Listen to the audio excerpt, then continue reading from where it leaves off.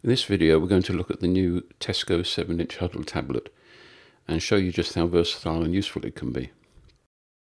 First off, there's a micro USB port at the bottom of the Hudl for recharging the battery. A micro USB cable is included in the pack. But you can also use this cable for file transfers between a PC and your Hudl. Setup is dead easy and automatic. You can see all your Hudl files on your PC almost immediately. And if you have a micro SD memory card fitted in your Hudl, that will appear as a separate drive. Copying, moving or deleting files is as easy as it is on your own PC. If you already use a USB memory stick like this for carrying data around, you can connect it to your Hudl's micro USB port with an OTG cable like this. You can also use this setup to connect other devices, such as a digital camera or a keyboard. There's Bluetooth on board as well, so you can link your Hudl up to devices such as external speakers, headphones and printers. Switch Bluetooth on in settings and then connect up to the de desired device in the Bluetooth list. The Hudl has a 7 inch size screen which has an excellent resolution of 1440 by 900 pixels. But anticipating you might want to plug your Hudl into a high definition TV for better viewing, the Hudl also has an HDMI socket at the top. But you'll need to buy a micro HDMI cable for this. You should be able to get one for about 5 to 10 pounds. Setup is very simple. Plug in the cable, switch on your Hudl HDMI in settings HDMI, find the right channel on your TV and that's it. Crystal clear videos, photos, web pages, TV channels or games on your HD TV.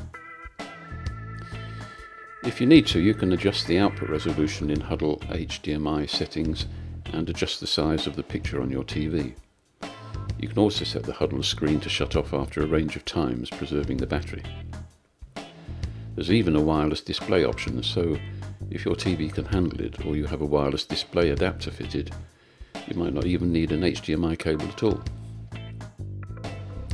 There is a built-in 16GB of memory, which is pretty good. But if you've got a lot of music or videos, they will eat all that up. Unlike most other low-price competitors, the Hudl has a micro SD slot for a further 32GB of memory. Fitting a micro SD card can be a bit fiddly. Just make sure your Hudl is switched off when you push the card right in. As we said, when your Hudl is connected to a PC via its USB cable, the micro SD card appears as a separate drive. You can also use your Hudl to access files on your PC through your local Wi-Fi network. If you download an app such as ES File Explorer, you can stream music, photos and video files directly from your PC to your Hudl wherever you are, in your home or office, without actually having to download them.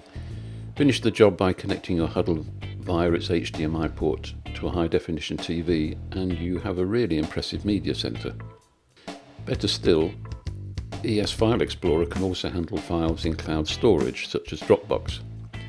So you can download or stream files to your Hudl without even needing a PC at all. Add some more of the best Android apps for the Hudl, and you've got a great versatile tablet for a bargain price. But what about if you're in a place where you can't get Wi-Fi? We'll show you how to get around this problem in the next video. In the meantime, thanks for watching.